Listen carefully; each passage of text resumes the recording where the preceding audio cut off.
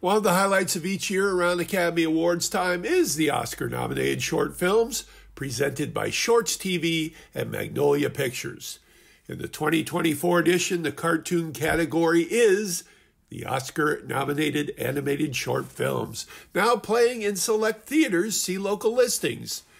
Letter to a Pig is a uniquely rendered short by Tal Kantor about an old Holocaust survivor telling his story of hiding in a pig pen to a group of bored students, except for one girl who takes his narrative to flights of fancy.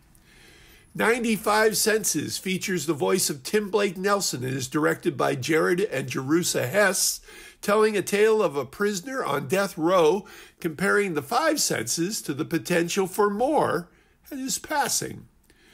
Our uniform by Yegane Moghaddam is one of the more creative animations, telling of burqa wearer girls in Iran and weaves through the cloth of their uniforms while seeking more freedom.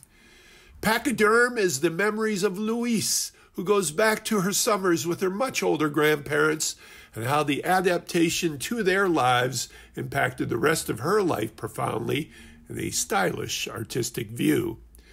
Finally, War is Over, directed by Dave Mullins and co created by Sean Lennon, using Father John and Mother Yoko's famous song to tell the story of a carrier pigeon, a chess match, and the desperate end to a desperate World War I.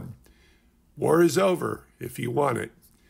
Bonus animated shorts include honorable mentions Wild Summon and I'm Hip. Animated art has evolved so incredibly in the digital era, with form and style so different and unique, and this shorts program highlights the possibilities to tell their stories in paint and rendering now available to cinema practitioners. Oscar nominated animated short films, 4 out of 5, in select theaters now, including Chicago's Music Box Theater. See local listings.